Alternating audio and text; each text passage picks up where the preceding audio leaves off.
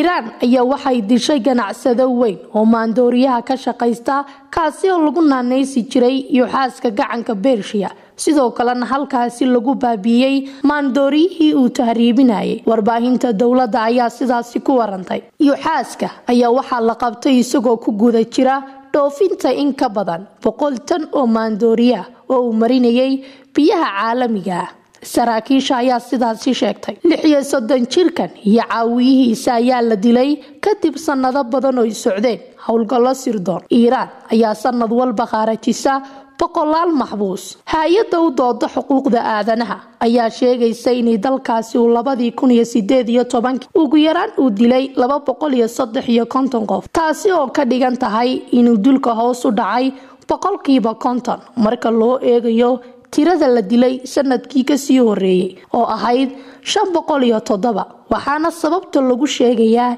in isbeddelka lagu sameeyey shuruudaha adag ee degan ee ka hortegaya maandooriyaha. Hase yeeshee maandooriyaha heer caalami ayaa weli waxa uu sababi karaa in qofkii lagu qabto la dilo. Ninkani lagu naanayso yuxaaska ayaa waxa uu ku howlgelayay magacyo iyo qaabab kala duwan. Ayaa uu dacwad oogaha cali saalixi uu u sheegay wakaalada wararka i s n a. Waxa uu hogaaminayay mid ka mid ah shabakadaha ganacsiga maandooriyaha ee ugu halista badan ee ka jira iiraan iyo gobolkaba ayaa uu yidhi xubnaha kale ee burcadda waxaa lagu xukumay xabsi gaaraya ilaa shan sannadood iyo ganaax culus.